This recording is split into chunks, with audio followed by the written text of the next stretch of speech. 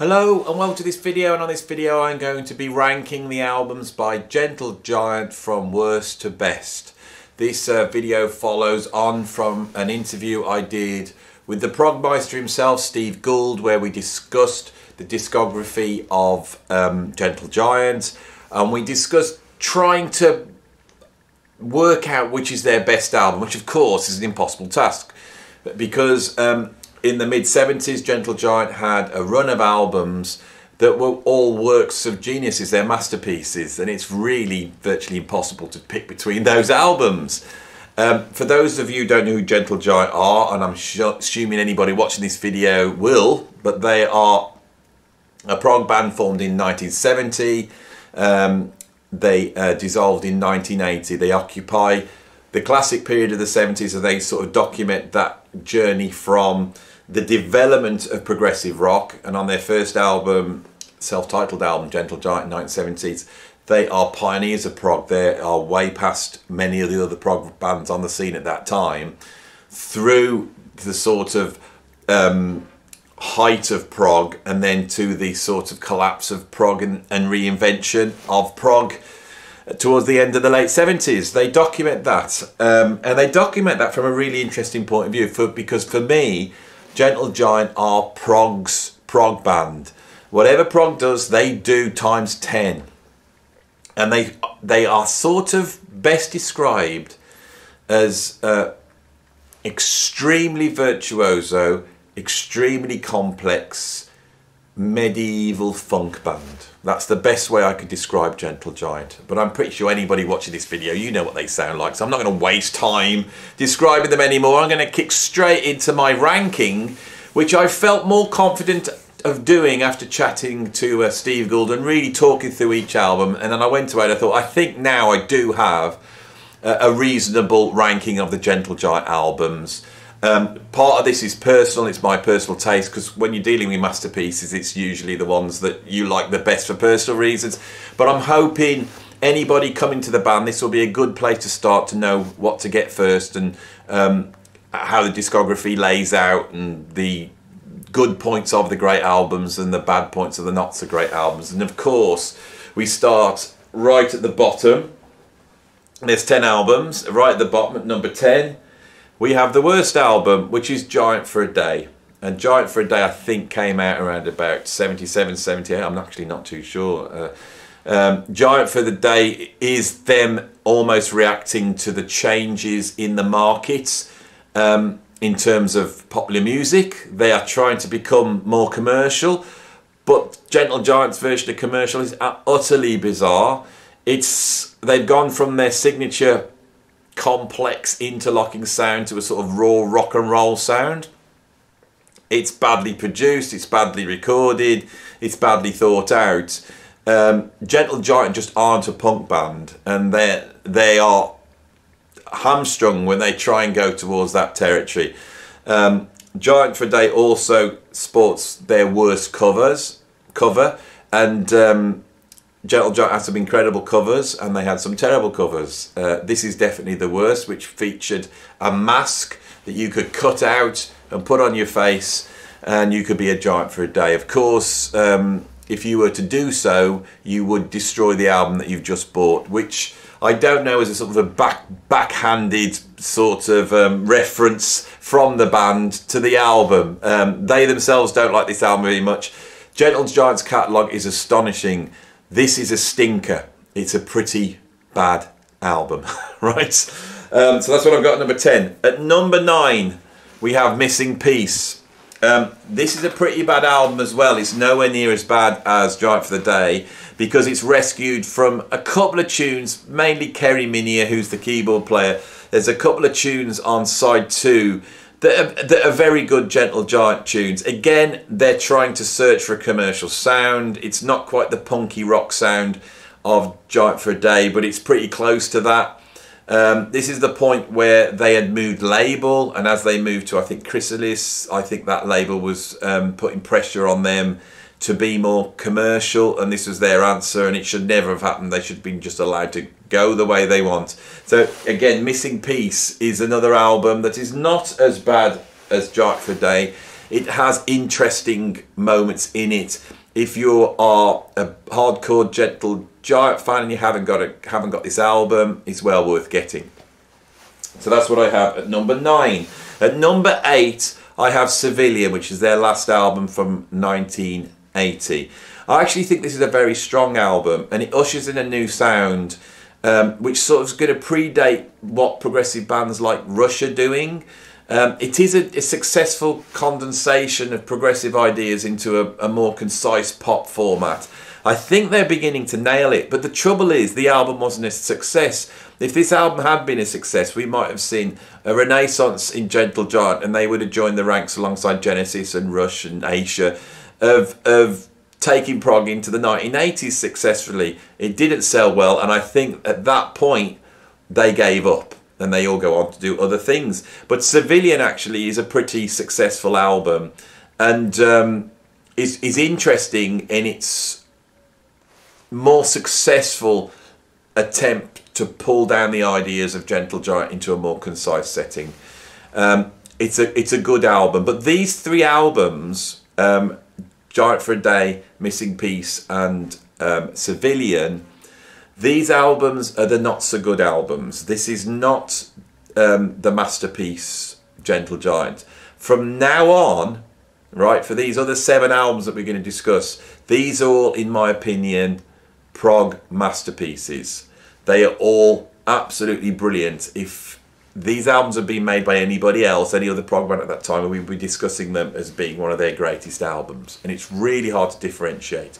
So from now on, if you are a Gentle Giant fan and you want to explore their catalogue, these are the albums you're going to work with, and I'm going to try and steer you through that. And I don't want to take, I, I don't want to spend hours doing this. I want this video to be quite short so we can just get through it and you can watch it and see a sort of follow up to the video I did with Steve. So um, number seven, I have the debut, which is called Gentle Giant, of course. Um, came out in 1970. Um, in 1970, prog ha hadn't quite got its act together. In the Court of the Crimson King comes out in 1969, and a lot of the bands that are playing with progressive ideas, they have to suddenly deal with that. They look around and go, "Oh my God, what have they done?" Actually, Gentle Giant, I think, is formed in 1970 out of um, they were originally a band called Simon Dupree. They were a pop band. They'd had a hit record with a, a tune called Kites. And they formed Gentle Giant with their own agenda to push rock music to the limits. Uh, so they're already bought into this idea of being a progressive rock band right from the start. And that comes from themselves. I don't think they're they're obviously they're influenced by bands like King Crimson, Soft Machine, and Frank Zappa. Obviously that influence is there, but they've got an agenda and on that first album, they set it out. So when you go to that first album, compared with other progressive rock albums from 1970, it's it's ahead of the game. They really are ahead. The only things in terms of Gentle Giant's oeuvre is that um, they haven't quite consolidated the Gentle Giant sound. So the Gentle Giant is this sort of, um, it's very funky, um, it also has sort of medieval and modern classical overtones. The parts interlock in a way which is absolutely unique to them. Often melodies are shared across the um, structure of the song. They're multi-instrumentalists, so there's a wide colour of sound and they will jump from a full rock band into maybe an a cappella piece and then into say something like a violin and recorder piece. All these things are the things we associate with Gentle Giant. When you listen to the first Gentle Giant album, it's there and it is monumental, but it still hasn't coalesced precisely. So this is why I've put it at the bottom of the list. In terms of an, if you're a progressive rock fan, in terms of albums that you should own, this is like almost an essential purchase because it really, as is important as in the Court of the Crimson King or Atom Heart Mother or the Yes album in birthing this incredible genre. So that's what I've got at number seven is the debut album Gentle Giant. At number six, I have the last album before the quality dropped, which I think is from 1977, if I'm right, 76, 77, and it's an album called Interview. Um, as time has gone on, it's I have realised that Interview is an absolute masterpiece. It sometimes gets forgotten. It it actually has some of their densest compositions, some of the most complex um, compositions and techniques and approaches because this is the most developed album. Before they decided to change their sound and go down the sort of commercial route, this is the album where Gentle Giant are at their most accomplished and they pull off some incredible stuff. This is an essential album. All these albums from now on are essential. Um, my favourite track on it, on this album is I Lost My Head, which is the final track, Kerry Minnear composition.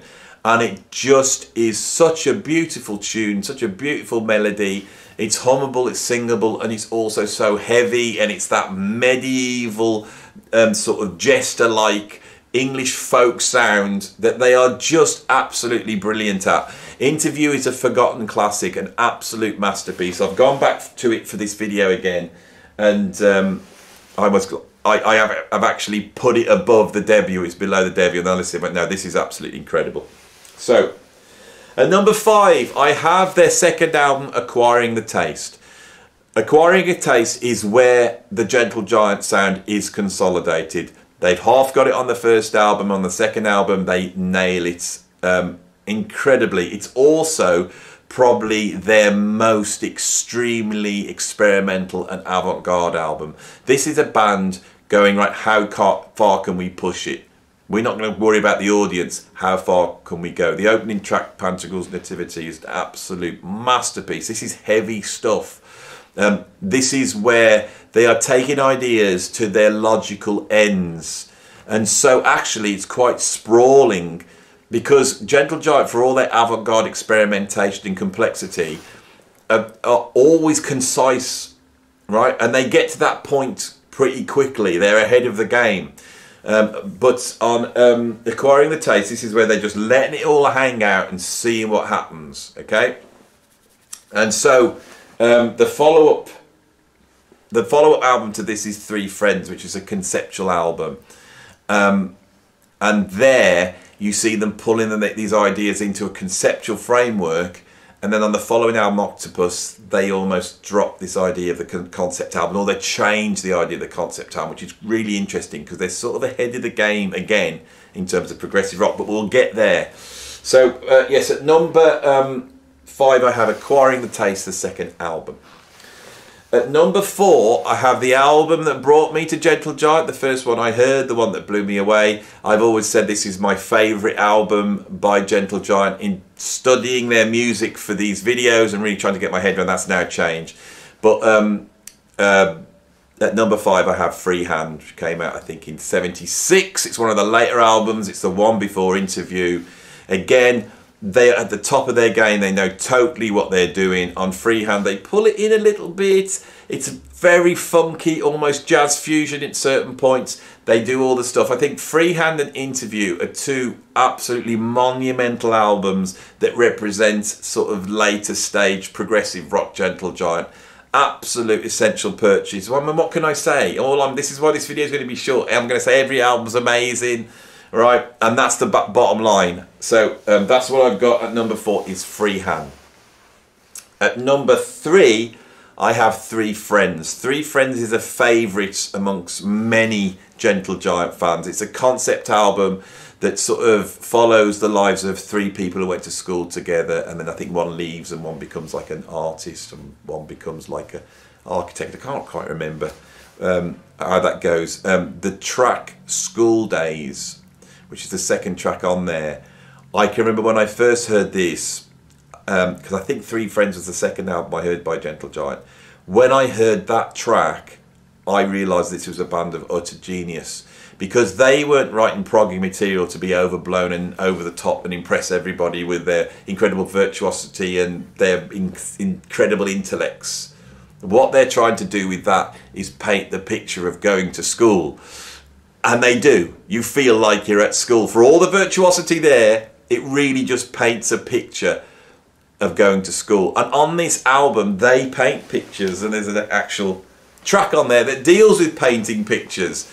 This is a true concept album.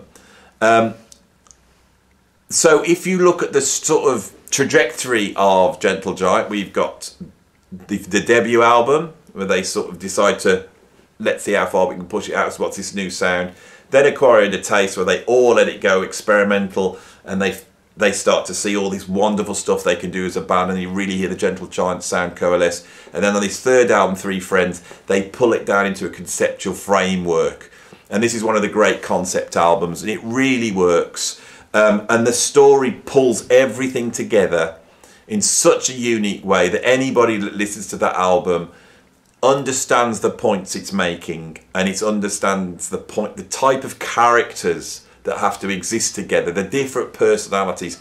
Me as a teacher, I have dealt with this all my life, that there's different types of people and their requirements are different. There's the scientist, there's the artist, there's the technologist. There's these different types of people, and that's what they deal with on that album. Now, I think going forward, um, there, there's conceptual ideas that pull these albums together. But one of the great innovations of Gentle Giant, which I think nobody ever discusses, and I can hopefully discuss it now on this video, and hopefully um, there will be something unique that you get from it. I think with three friends, they realised the limitation of the concept album. Uh, this album, I think, is 72. Uh, could be 73, but it's it's at the point where all the other prog bands are going, oh my god, look what we can do, close to the edge, Tales from Topographic Oceans. And Gentle Giant are actually putting the brakes on and going, hang on, is this really where we want to go, or do we want to make concise songs? So how do you pull uh, that together on an album? And I think they changed the idea of the concept album. And I think from Gentle Giant we get a different idea of a concept album. And on the following album, which I assume is because we, we, we're down to the final um, two now. So at number two, I have Octopus. On Octopus, right, which is usually everybody's favourite um, Roger um, Roger Dean, uh, usually everyone's favourite Gentle Giant album, which I think just nudges past the post of all these masterpieces because of um, the uh,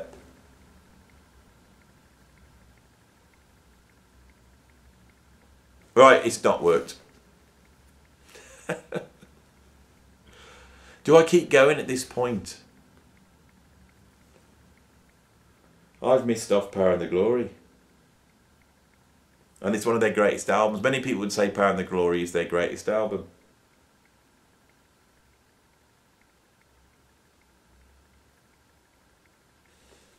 This always happens on my videos. I'm sat here thinking, do I stop or do I keep going at this point? Um, when I do these lists, I try not to sit with like a list of the discography in front of me. I try and pull it from my knowledge. You're come, you've come to these videos to sort of access my knowledge of the band, of years and years of listening to these bands. In in the case of Gentle Giant, I discovered Gentle Giant much later in life. And so I haven't got that instantaneous knowledge that if it was Yes or Genesis or Jethro Tull, I could start trotting through the albums. Um, Power and Glory is an absolute masterpiece. Um, I think it's one of their greatest albums. And so I think subconsciously I've realised that it needs to go here. So there's not 10 albums, there's 11 albums, and Power and Glory needs to go at number three. I think for me, Octopus edges just above Power and the Glory. What you're watching now is me working out right in front of you this order. I, I, I don't think anyone else would do this, so um, I might stop this video and start again. But what you're going to get a big rehearsed, I've said it all, right? So I'm not, I'm going to keep going. I'm keeping going on this video. So I'm going to start, so you don't get confused, I'm going to go through my ranking again. So at number 10, I have the awful giant for the day. For a day. Uh, no, sorry, at number 11. Oh, this is getting very confusing now. What am I going to do? You, you, you're just watching incompetence. It's, it's just incompetence you're watching. I, I, I have a rule that we switch the camera on. I've got to keep going. You've, I've got to record this. You know, this has happened before. This has happened before. I did my, um, I think I did 20 greatest progressive rock bands, and I missed off ELP. And when I got to the end, I sort of on video realised I'd missed off ELP.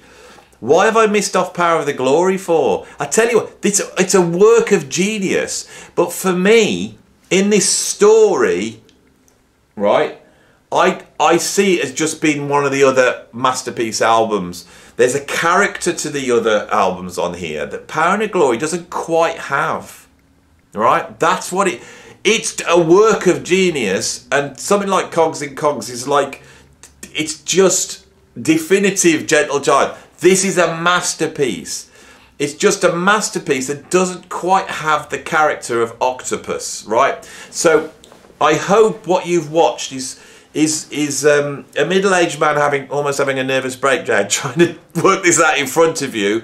But hopefully you've seen something real. You've seen something actually happening. Not somebody rehearsing something and trotting out the same old cliches. I'm leaving this in right? Whatever happens see see the reason i don't want it to be in the is, is my perfectionism. It's me wanting to appear like i know what i'm doing.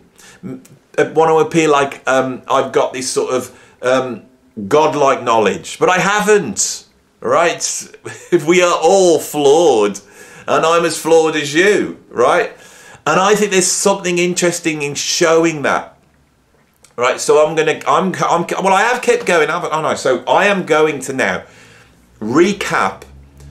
Oh, this is a mess. I'm going to recap on the 11 Gentle Giants albums. I'm just going to rank them and see where we've got. So at number 11 we have The Awful Giant for a Day. At number 10, we have the pretty awful missing piece, but it's got some nice little moments on. We have at number 9, the pretty good civilian, but not representative of the Gentle Giant sound, more representative of a sort of 80s progressive rock sound, which at the time didn't work and it, it knackered the band up, so they packed it in, right? That's what civilian is, right? Um, at number nine, we have the debut, Gentle Giant.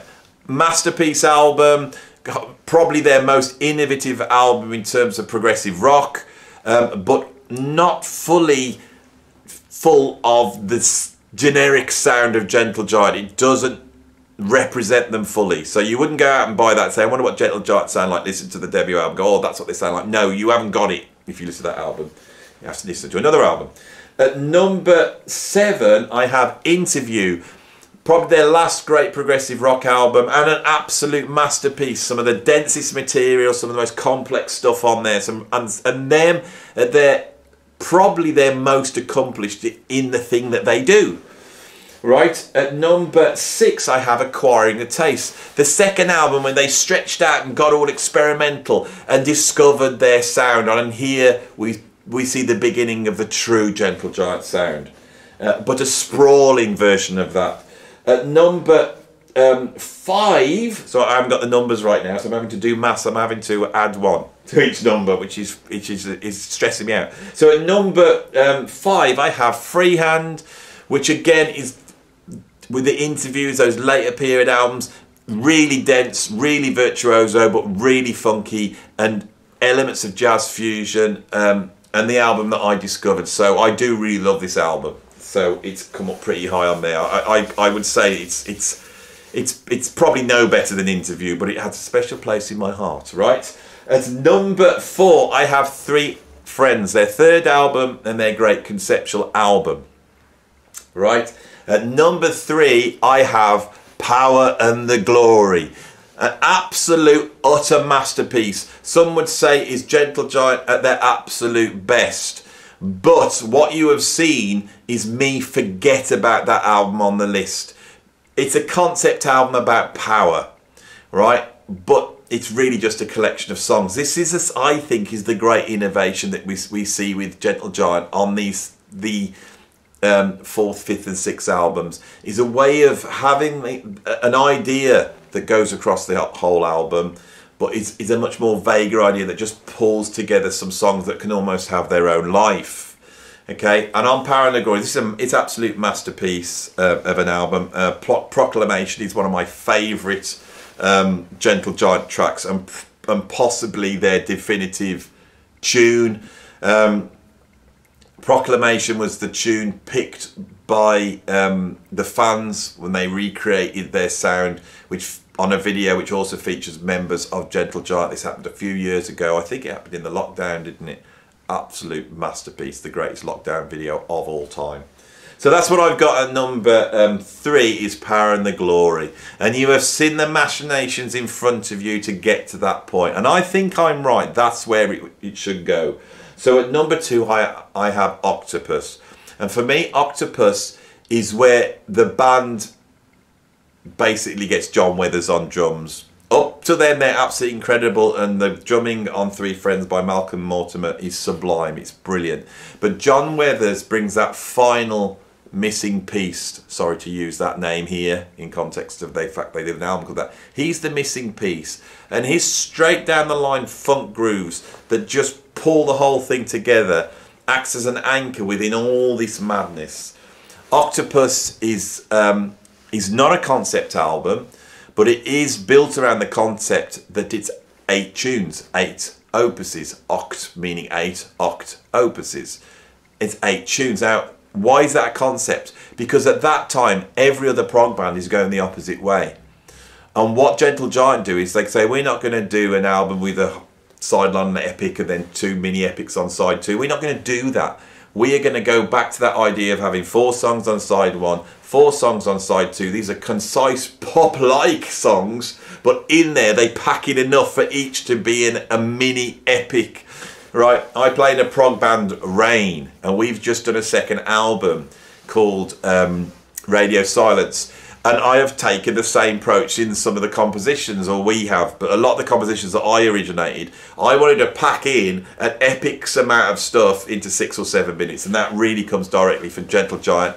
And I think that's their great innovation within prog. They're heavier, more way out, more avant-garde, more virtuoso, more brilliant in their composition than most progressive rock bands. But the thing that makes them different in the end is that they don't write epics. All right? And I think that's why Octopus is so important.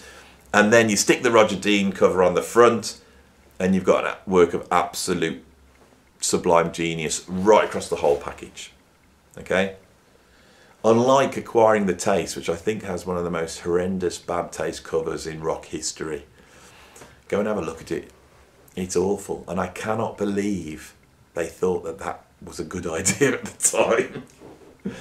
Stick a Roger Dean cover on Acquiring the Taste. Right up my ranking it would go. So what have I got at number one? Uh, number one I have In a Glass House. It's taken me many years to arrive at the point of thinking that's their greatest album and now I need to come up for an argument of why I think it is their greatest album. And it goes like this.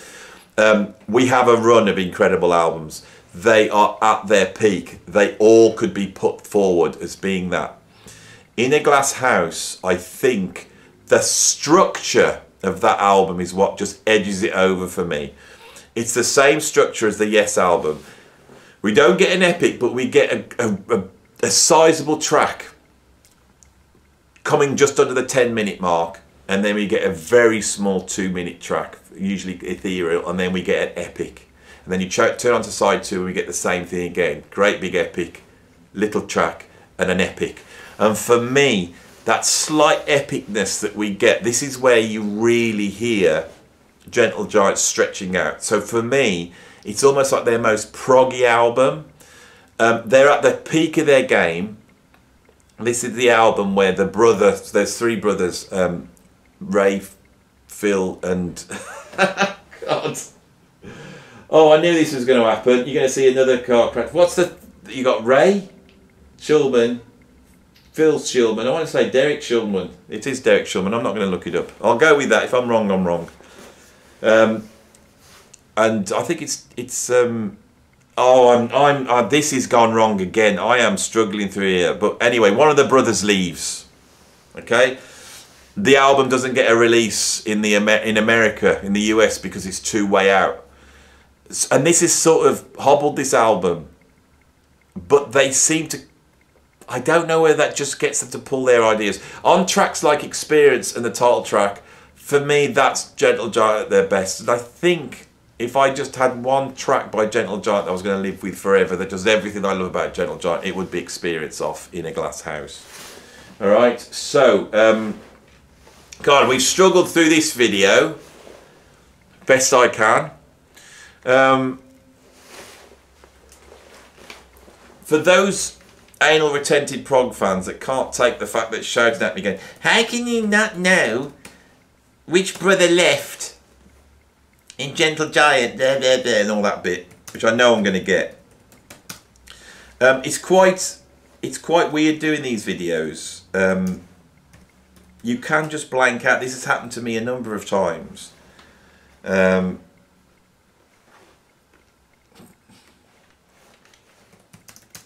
so I'm gonna just go to Wikipedia. He should know this. If he knows his stuff, he shouldn't be making videos like this if he doesn't know this. He should he just should know it off the top of his head. Right? I've doubted myself, you know. So um it's a, it's Phil Shulman. Who the hell's Derek Shulman then? Where have I got Derek Shulman from? Because that's the lead singer. So we've got Ray Shulman, Derek Shulman, and Phil Shulman. Oh, all these brothers, I get confused. So who did I say? I came up with another Shulman. Did I come up with another Shulman? Right. This is why I didn't want to do the Gentle Giant video. Alright? I love the band, they're one of my favourite bands. Bands that I grew up listening to when I was a teenager, that stuff's part of my DNA. Gentle Giant isn't. I'm not sure. When I go into their world, I get confused. There's a lot going on, and I'm sure there's people watching this that are absolute Gentle Giant nuts. I've only been listening to them for about 15, 20 years.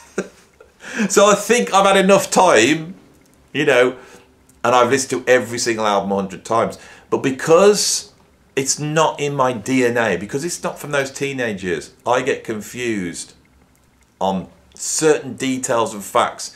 If I was going through another progressive rock band, I would know all the years. Um, but the, the albums pretty much come out by the year, so you can sort of see the debut album Gentle Giants 1970.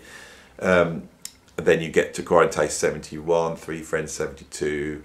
Uh, I think um, Octopus is 73 and Glasshouse is 73, Power Glory 74, and then then we have Freehand 75, Interview 76, Missing Piece 77, uh, 78 Giant for a Day, and then 7980 we've we've got Civilian. Uh, so that's how I have it in my mind of the the band tracking out. So it is in there, but it's not instantly accessible. So I do apologise about that. But when you watch one of my videos, you get it raw. You get me thinking through it, right? Right, I've got to the end of this video. Uh, it's going up.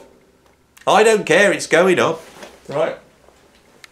I would be such a hypocrite to scrub this and then have a second run of it and get it all perfect. I'm sure somebody else would do that. I don't believe that's what we need now, creatively. I really don't. And that's probably what my next video is going to be about. Why I'm happy to leave these mistakes in. Um, so if you like the mistakes, if you like see seeing this stuff happening in front of your eyes, please put it in the comments. If you don't like it, sling your hook. Go watch somebody else, some prog nerd that's got it all in their head because they've got some sort of anal retentive mindset and they have to have all the details. They've written it all down on a piece of paper. They've got it on. That's what I dislike about prog rock. That's the thing I don't like about it. I didn't get into prog rock because I wanted to create lists and have everything in order. Right? But here I am doing top 10 videos. God, this is like therapy. This one's been about therapy, which is interesting because Gentle Giant have that psychological approach in their music. They're very interested in the psycho psychologist R.D. Laing. And R.D. Laing is, was very much about, he, he questioned what was a mental illness. And he really saw that as being society's framework. So if you didn't act within the in that framework correctly, you would get labelled mentally ill. It's really interesting approach to psychology. And so as I as you just free associate like I am now, as I question myself as whether I'm doing the right thing on YouTube in in in talking like this to camera, in in taking a subject like Gentle Giant, the truth is, you know what I'm really doing wrong here. The thing I'm doing wrong here, and I'm realizing as I'm talking to you now, it's it's the fact that I'm trying to jump through the hoops of ranking these videos. You're here to rank the videos, but that's not really why you're here. You're here because you love Gentle Giant. And there's something sublime and esoteric about Gentle Giant. And that's the thing you want me to talk about. But I don't talk about it. I instead I just sit there ranking and saying I like this one worse and I like this one best, and that's absolutely pointless. What you want is something in there. Facts are nice, but you can go on Wikipedia and look up facts. I've just done that before you. What does that really mean? Right? What does it mean me getting the names of the band right or wrong? Okay? What the question is fundamentally is why do we like Gentle Giant and why do we find them fascinating? What is it about them that, that we find fascinating? And I think when you look at tracks like Knots and you look at tracks like Cogs in Cogs, I think they describe a certain existentialist psychological state. I think that's really fundamentally what Gentle Giant are about. They're trying to get inside the mind. They want to show you how the mind works and the facets and the machine like aspects of our psyche. That's what I think. Now, I could spend a whole video exploring that, but I'm not. I'm going to finish. But hopefully, at the end, with me looking at myself and confronting this sort of existentialist terror of just switching the camera on and talking and seeing where do I go and what's it about and why are these things happening and do I fight against it or do I go with it and when I go with it where does it take me Okay, and as I say that, then little light bulb moments come off and go, actually, Gentle Giant deal with this. They deal with this on their albums over and over again. Okay, and when I heard these interlocking like tracks like Knots and Cogs and all this, this, and the, and the lyrical matter, I lost my head. It, it, to me, there seems to be an underpinning theme of psychology and of existential angst. That's what Gentle Giant have and and they express that in a way which is very esoteric but within the rock and roll milieu. So they occupy they're like an esoteric rock band right? They're there. There's there's certain bands that are like that. Cardiacs are like that. Gong are like that for me. Frank zappa's like that to a great extent and gentle giant. Those bands are like esoteric rock bands that expose deep sublime truths within the nature of rock and roll, but without outside of the commercial boundaries of rock and roll. I think that's what makes Gentle Giant great. Now, if you stayed to the end, I hope that was worth it. And I hope I redeemed the fact that I cannot always pull out of this old brain of mine information instantly all the time. And it does go wrong. Our brains do go wrong. There are knots in there within the cogs, within the cogs, within the cogs. I think I've got to the end of the video. I think I've arrived at a point where I'm happy with what I've said. I'm going to go now. If you liked the video, liked it, like it. If you uh, want to know more, subscribe and ring the notification bell. If you really want to go deeply into this, then become a Patreon and come and tell me, because you can talk to me directly there and tell me like my patrons do, what are you interested in? And I will go into these areas, the deep areas of deep psychologic psychology and esoteric truth right? The, we need to move from the outer temple to the inner temple. You know, is that the oily way? I'm on another band now. They need to be talked about as well. I'm going. Just shut up, Andy. Get just press that off video. Press the button. Press the button now. Just or you're gonna keep going. Just keep press press it now.